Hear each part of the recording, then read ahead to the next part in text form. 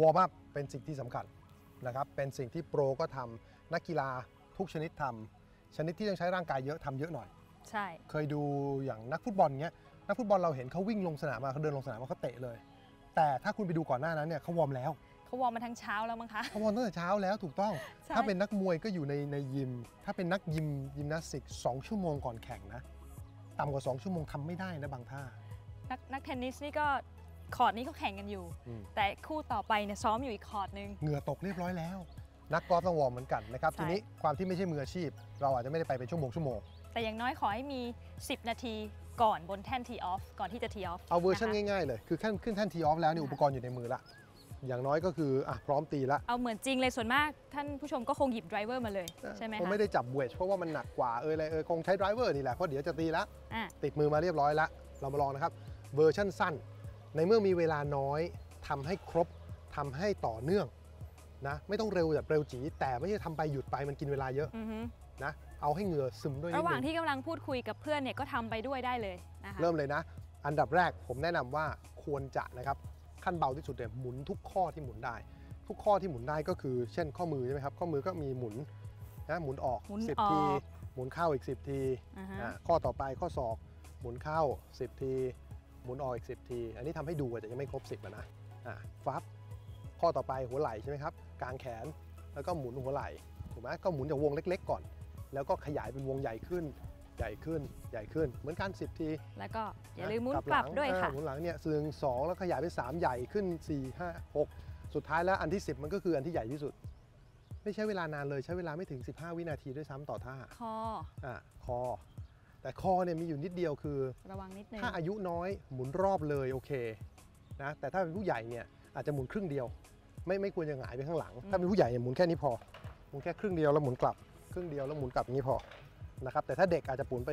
ให้ครบรอบแล้วค่อยหมุนกลับเนี่ยแล้วก็สลับสองโอเคครทีบนี้เรา10ได้ส่วนบนละครบละอะมาข้อต่อไปก็แถวนี้เอว เอวเนี่ยหลายคนไม่ค่อยชอบยอมทำหรือทำก็ไม่ทำมันดูตลกก็เนาะมันจะเหมือนจะตลกได้ แต่ว่าประเด็นก็คือเราต้องการให้สะโพกมันได้ได้มีการขยับตัว เพราะฉะนั้นมันต้องไปข้างให้สุด หลังให้สุด ข้างให้สุด หน้าให้สุด หน้าให้สุดนี่คือแอนแอนแอนเหมือนดันตัวไปข้างหน้าอย่างนี้เลย พยายามเอาจับหัวให้อยู่ศีรษะอยู่กับที่ด้วยนะคะแล้วตัวไปเรื่อยอ่าๆเนี่ยแล้วก็หมุนไปเรื่อยๆ แล้วก็หมุนสวนทาง คือต้องรู้สึกถึงกล้ามเนื้อรอบๆ บริเวณนั้นด้วย เข่า สองข้าง แต่เข่านี่เขาไม่ให้หมุนใหญ่ อืมเข่าหมุนนิดๆพอห้ามหมุนเยอะสองข้างสองข้างขหมุวานเล็กซ้ายๆ ข้อเท้าข้อเท้า ครบทุกข้อ ครบทุกข้อ โอเค มีข้อนิ้วข้ออะไรจะหมุนไหม ไม่จำเป็นไม่นะเป็นไร เรามีเวลาน้อย โอเค เดี๋ยวเรามาใช้น้ำหนักของก้านของเหล็กมั่งนะคะ เพื่อที่จะเพิ่มความเขาเรียกอะไรล่ะก็บังคับให้หมุนเหมือนกันแต่คราวนี้เป็นการหพิ่มุนกล้ามควเนื้อยืดนิหยุ่นอ่าละหมุน อันนี้เป็นการ หมุนแขน pronation subordination โอ้โหใช้ศัพท์สับอย่างทางการนิดหนึ่ง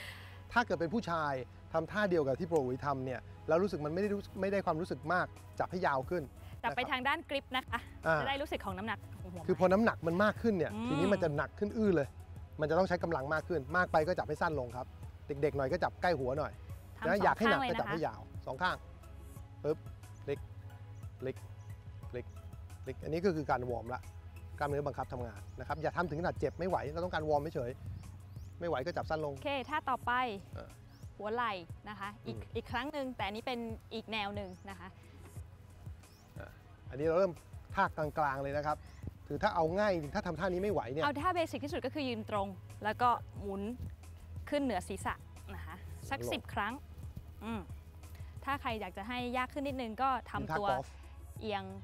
อ่าใช่ท่าท่ายืนของกอล์ฟนะคะนะท่า set up เลยแล้วพยายามเพราะไหล่มันจะไปได้อีกนึกออกไหมครับ ต้องยืดหยุ่นอีกนิดหนึ่งไหนดึงพี่ขึ้นเจได้ลองลองสาธิตท่า advance เหรอ professional advance คือให้มี balance ด้วย คือขาข้างเดียวท่ากอล์ฟขาข้างเดียว ยกขาข้างหนึ่งขึ้น แล้วต้องมี balance ด้วย ต้องท่านี้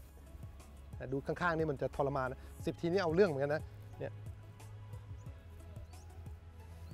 โอเคเริ่มสั่นแล้วเริ่มขอไปสั่นท่าต่อไป ไขว้ไม้มาข้างหลังนะคะโอ้วันนี้ชอบ เอียงตัวมาด้านหน้า อาจจะขนานกับพื้นเลยก็ได้นะคะ แล้วก็ขึ้นยกแขนขึ้นมาให้สูงที่เราได้อ่าทำได้ แล้วศีรษะอยู่กับที่ตึกศีรษะอยู่กับที่เลยนะครับศีรษะไม่หมุนนะครับอันนี้เป็นท่านี้การหมุนแผ่นหลัง ค่อยๆทำคนไม่เคยทำเผาแล้วกัน โปรวินลองทำวันก่อนตะคริวขึ้น ขึ้นตรงปีกร้องโอก ค่อยๆก่อนนะคะ ถ้าไปได้ก็เริ่มเร็วขึ้นแล้วแล้วพอทำไปทำมานี่สังเกตแขนเริ่มตก ใช่ใช่ไหมรู้สึกไหมแขนมันจริงค่ะเริ่มตกลงมา โอเค เพราะฉะนั้นต้องมันเป็นท่าที่ advanced พอสมควร แต่ว่าต้องต้องพยายามให้แขนตั้งขึ้นไปแล้วก็หมุนรู้สึกแขนเบาเลยไม่มีความรู้สึก tee off back เลยครับเนี่ย ท่าต่อไปช่วงเอวอีกสักครั้งหนึ่งนะโอคะเค ถ้าเป็นท่าธรรมดาก็คือก้าวไปบิดขึ้นมา ก้าวไป ระดับที่โปรอุ๋ยขึ้ลงนมาสังเกตดูนะครับอืมมันคือหน้าขาคือขนานพื้นพอดี ลงได้ไม่ใช่ลงแค่นี้ นี่ถ้าลงอย่างนี้ยังยังลงอะไม่เดี๋ยพวอทำด้านข้างเอออะใช่ไหมก้าวไปเข่าใช่แทบจะแตะพื้นแต่ไม่แตะนะคะใช่แล้วค่อยหมุน ขึ้นมาสลับอีกข้างหนึ่งแล้วก็ไปทางฝั่งตรงข้าม คือขาข้างไหนก็หมุนไปข้างนั้น ใช่ ขาขวาหมุนขวาท่านี้นี่ได้แทบทุกส่วนเลยค่ะ ขาซ้ายหมุนซ้าย อย่าลืมนะครับบอกโอ้ยนี่ก็เหนื่อยดิมันต้องเหนื่อยนิดนึงครับ มันต้องหอบนิดนึง มันควรจะ เมื่อเสร็จทุกท่าแล้วเนี่ยเหงื่อซึมนิดนึง รู้สึกพร้อมแล้วค่ะ พร้อมที่ออฟครบไหมครบค่ะ อาจจะสวิงลมอีกทีสองทีนะคือนี่พยายามให้เห็นว่าทุกคนสามารถทำได้ ทุกคนมีเวลาที่จะทำได้